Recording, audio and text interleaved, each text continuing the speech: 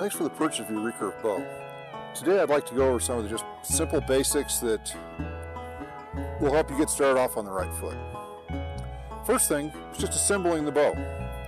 When you get your bow out, you'll notice a lot of the bows don't have any markings at all, like the top limb, but almost always the bottom limb will have some sort of marking on it. This particular one I, I, know is the bottom because there's there's no markings or anything on the top. So all we want to do is slide that limb into place and then take your limb bolt, put it in the hole, and screw it tight. It doesn't need to be super, just get it finger tight, nice and snug. Once it's in place, when we string it up, everything else will be held in place just fine. So we just get it nice and tight. Repeat the process for the top limb. Just take it, slide it into the limb bracket, take your bolt, tighten it up.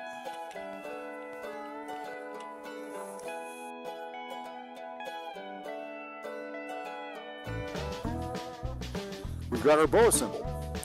Now we need to string it.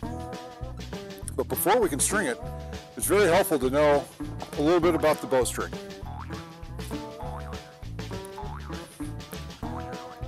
When you look at your string, you'll notice there's two different size loops. A big loop and a small loop.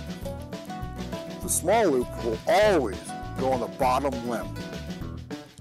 Let me show you why. We take the top loop, or the bigger loop, to the top limb, we put it over the limb and you can slide it into place. Then we can just put the smaller loop on the bottom limb. Now we're ready to string the bow. The best way, and the only way we recommend stringing a bow, is with a, a stringer.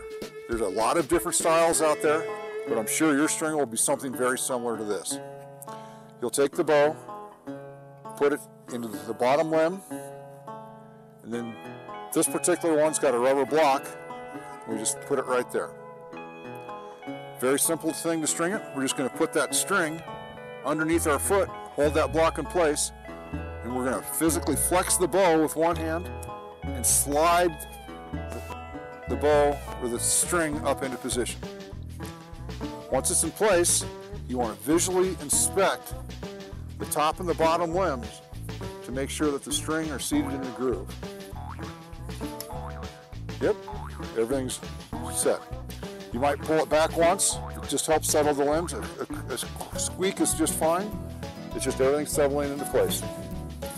Yep, we're good. That is how to string your bow.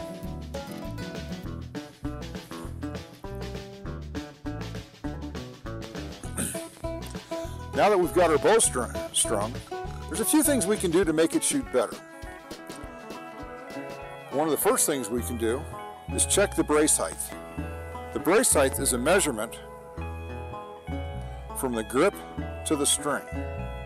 Now every bow's got a re recommended brace height. Typically they're between seven and a half and eight and a quarter inches. Some of the shorter bows might be six and a half, seven inches. So check with the manufacturer. But you can take, this is a, a, a tool designed for this, but you can use a tape measure, a, cut a string to a certain length, just about anything. This particular bow is set at eight inches. I like 8 inches because that's where this bow performs better. But you can tune a bow. It's called the sweet spot. You can mess with it by twisting this string, making it shorter, or untwisting it to make it longer. You can adjust the brace height. The sweet spot is where this bow will perform best. Since it's uh, natural materials, not every bow is the same. One bow might shoot better at seven and a quarter inches, and the next bow might shoot better at eight. You can play with this. You'll know you've got the sweet spot when the bow is physically quieter and it's not jumping in your hands. It's just much more pleasurable to shoot. It's not, you don't get the twang like a baseball bat or anything. It's just a nice, clean shot.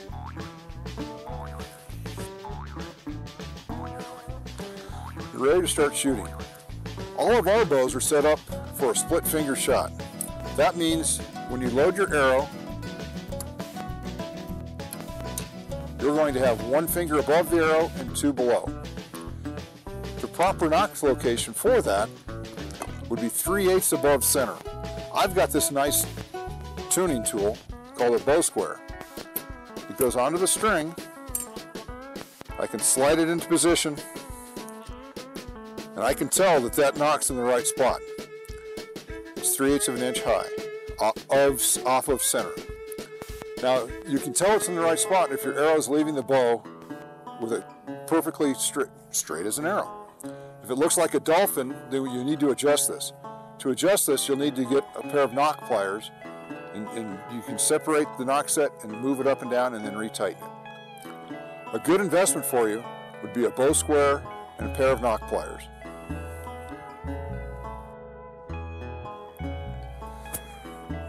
Now that we've got your bow set up and shooting well, go out and have a good time.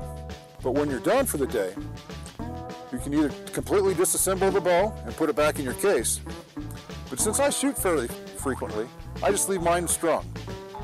If it's going to be more than a week between shooting sessions, we recommend unstringing the bow. And this is how we recommend unstringing it. It's just going to be a short period between shooting sessions. You're just going to take your stringer, put the bottom loop in, put it on the top, get you that under your foot, bring it up, just let that string come down. You've taken all the weight off the limbs so there's no damage can happen and it's ready to go the next time. Thanks and enjoy shooting your bow.